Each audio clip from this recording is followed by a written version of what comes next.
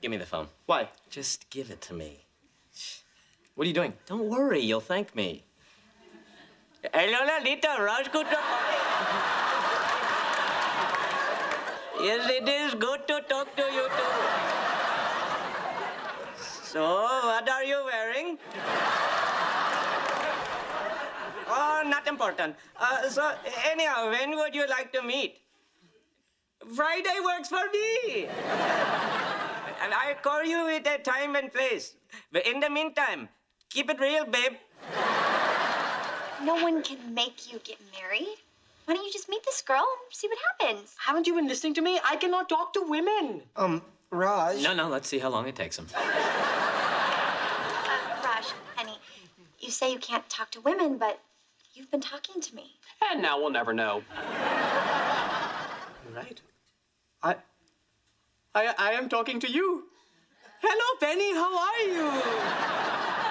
I'm fine. Okay, now I just need to make sure I have a Lalita before I meet the grasshopper.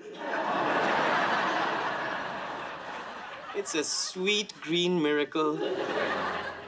You have lost so much weight. That must have been difficult for you because you were so, so fat. Do you remember? Yes, I do. Of course you do. Who could forget being that fat? You are the living embodiment of the beautiful Princess Panchali. Oh, no kidding. It was said that the gods fashioned her eyes out of the stars, and that roses were ashamed to bloom in the presence of her ruby lips. Oh, my. Back off, Sheldon.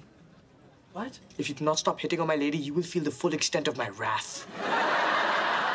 I'm not hitting on her. And I am not your lady. Well, And you have no wrath. You are my lady. Our parents said so. We are, for all intents and purposes, 100% hooked up. Okay, let's get something straight here. The only reason I came tonight was to get my parents off my case. I certainly don't need to be getting this old world crap from you. That's exactly the kind of spirit with which Princess Panchali led the monkeys to freedom. Oh, screw Princess Panchali. Hey, you can't talk to me like that. But you're not Princess Panchali. Luckily for you, she could have you beheaded. Sheldon, are you hungry? I could eat. Let's go. What just happened? Beats the hell out of me. Tell you what happened, I just learned how to pick up Indian chicks.